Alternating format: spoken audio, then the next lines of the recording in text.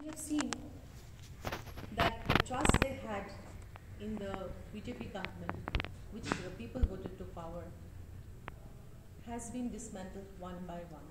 First and foremost, in the economic problem that we are facing now, the most important problem is price rise.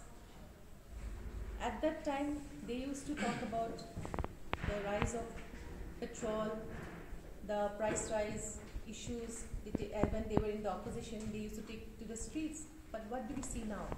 Now, for the common people, petrol has reached more than 100.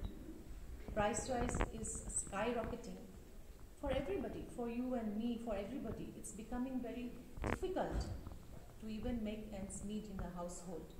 Every housewife, every man who works in an office, every daily wage earner feels the pinch of the skyrocketing prices. And what about the 2 crore jobs every year that they had promised? We don't see anything now. Unemployment has been the highest in the last 45 years. And even now, in every state, unemployment is a big, big issue. And our youths are very, very disheartened with what has been promised to them. So these two economic issues we want to take to the people of the country through the Bharat Jodo Yatra. Secondly, we have seen that in the last eight years, unprecedented social tension in India.